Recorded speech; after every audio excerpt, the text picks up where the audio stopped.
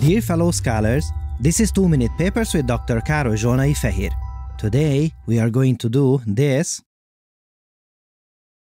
and this and this on a budget. Today, through the power of computer graphics research works, we can simulate all these amazing elastic interactions. If we are very patient, that is, because they take forever to compute. But if we wish to run these simulations quicker, what we can do is increase something that we call the time step size. Usually, this means that the simulation takes less time, but is also less accurate. Let's see this phenomenon through a previous method from just a year ago. Here we set the time step size relatively small and drop an elastic barbarian ship onto these rods, this is a challenging scene because the ship is made out of half a million tiny elements and we have to simulate their interactions with the scene. How does this perform? Uh-oh, this isn't good. Did you see the issues? Issue number one is that the simulation is unstable. Look, things remain in motion when they shouldn't. And two, this is also troubling penetrations. Now, let's increase the time step size. What do we expect to happen? Well, now we advance the simulation in bigger chunks, so we should expect to miss even more interactions in between these bigger steps.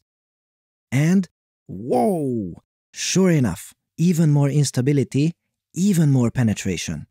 So, what is the solution? Well, Let's have a look at this new method and see if it can deal with this difficult scene. Now, hold on to your papers and… Wow! I am loving this.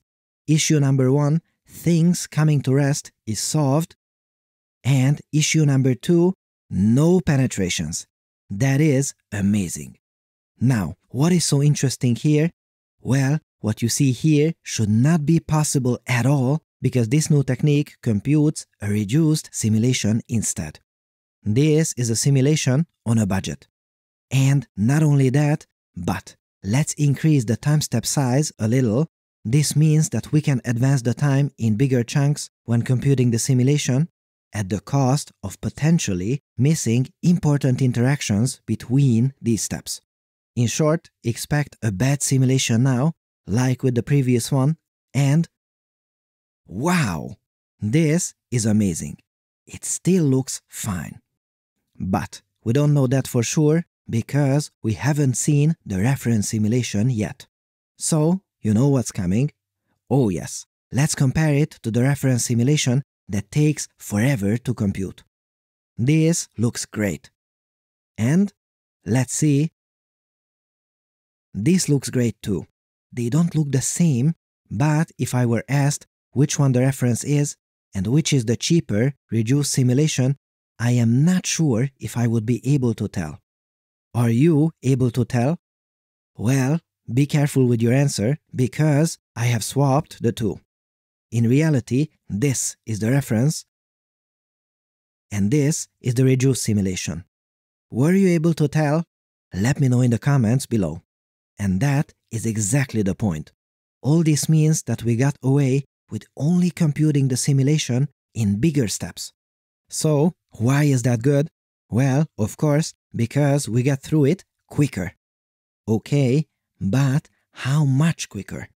110 times quicker. What? The two are close to equivalent, but this is more than 100 times quicker. Sign me up right away. Note that this is still not real time, but we are firmly in the seconds per frame domain, so we don't need an all-nighter for such a simulation, just a coffee break.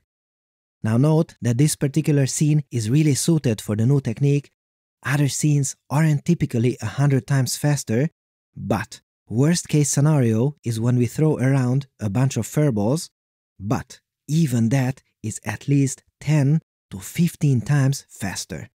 What does that mean?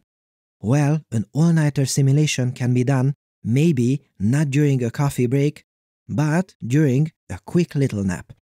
Yes, we can rest like this tiny dinosaur for a while, and by the time we wake up, the simulation is done, and we can count on it being close to the real deal. So good! Just make sure to keep the friction high while resting here, or otherwise, this happens. So, from now on, we get better simulations up to a hundred times faster.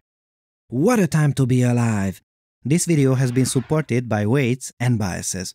They have an amazing podcast by the name Gradient Dissent, where they interview machine learning experts who discuss how they use learning based algorithms to solve real world problems. They've discussed biology, teaching robots, machine learning in outer space, and a whole lot more perfect for a fellow scholar with an open mind. Make sure to visit them through wnb.me/gd or just click the link in the video description. Our thanks to Weights and Biases for their long-standing support and for helping us make better videos for you. Thanks for watching and for your generous support, and I'll see you next time.